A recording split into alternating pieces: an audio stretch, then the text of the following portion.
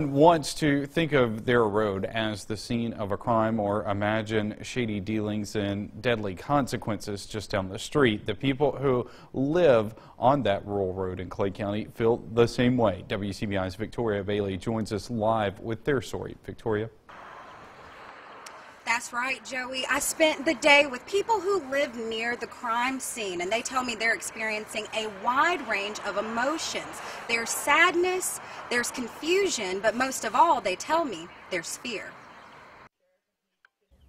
The neighbors who live on Dixie Hill Road are scared. I mean, how would you feel?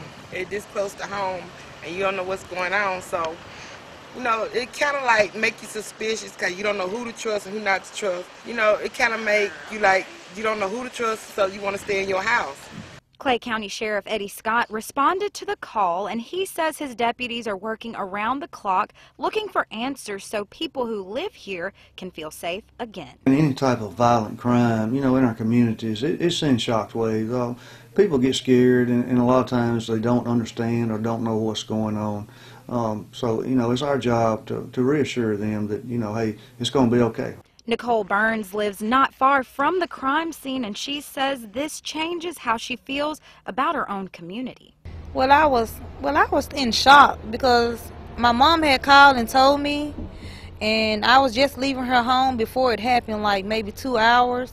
So I was like totally shocked. I was scared also but I was more in shock. Like, I can't believe, like, something like that happened in our neighborhood. Scott says much of their investigation depends on what people see and what they share. Uh, we always want people to call, even if they think it may be insignificant. That's what our 911 system is for.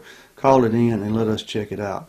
If you have information on this crime or any crime, you know, we encourage you to call. Call the sheriff's office. The continued cooperation amongst the agencies and working with the public. Burns says she lives in a tight-knit community and for this crime to happen so close to home is upsetting. You know, everyone pretty much knows everybody in the neighborhood, so it's like we're, it's kind of like a safe neighborhood because everyone knows everyone. But you know, you still have to be aware of your surroundings and everything that's going on, so you have to still be safe.